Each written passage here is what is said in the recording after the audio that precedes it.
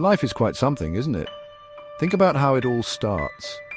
A single cell, smaller than a grain of sand, holds the blueprint for a human being. This is the incredible story of that cell and how it all begins, starting with fertilization. Fertilization is when a sperm cell from the father meets an egg cell from the mother.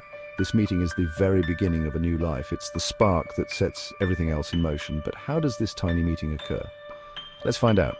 The journey begins when millions of sperm start swimming towards the egg. It's a tough race with only one winner. The egg waits patiently, tucked away in the fallopian tube. Imagine a massive swimming competition with millions of tiny swimmers. That's what it's like for sperm trying to reach the egg. The journey isn't easy, it's a long and challenging path. The sperm are determined little swimmers. They wiggle their tails and push forward, facing obstacles along the way. Some get lost, some run out of energy, but some keep going, driven by the chance to reach the egg. Only the strongest and fastest swimmers will make it to the egg. This ensures that the healthiest sperm gets to fertilize the egg. It's nature's way of giving the new life the best possible start. Uh, finally, after an epic journey, a single sperm reaches the egg. Now another challenge awaits. The egg is surrounded by a protective layer.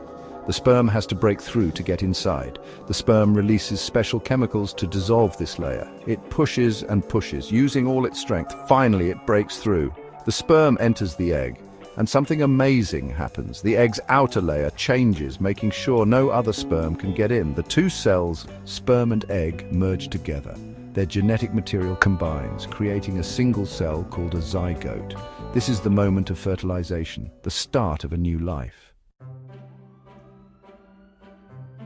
The zygote doesn't waste any time. It starts dividing, first into two cells, then four, then eight, and so on. This process is called cell division and it happens rapidly.